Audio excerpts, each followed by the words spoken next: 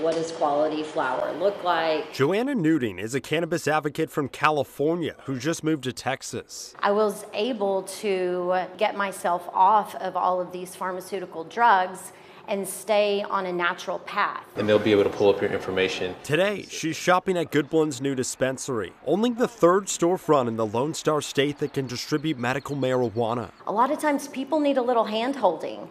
And having a brick and mortar location where people can do that makes them feel more comfortable. At the Capitol, Texas lawmakers are inching closer to expanding access to medical cannabis. With it being a legislative year, uh, we want to make sure that everybody has more access to products where they don't have to necessarily order, but they can come in and shop and shop and pick up the products as they need to. House Bill 1805 would expand eligible conditions to include anyone suffering from chronic pain, something Texas Agricultural Commissioner Sid Miller agrees with. Chronic pain is not a, not approved, and it's a lot of people are using it. Of course, we're making criminals out of them.